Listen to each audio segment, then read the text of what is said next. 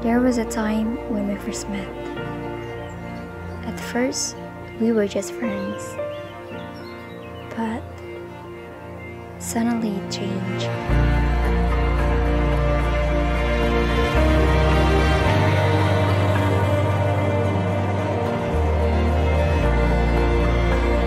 We decided to work together. Since then, we have been through good and bad things together. And I'm so grateful for that. And now, we are both ready to reach our future together.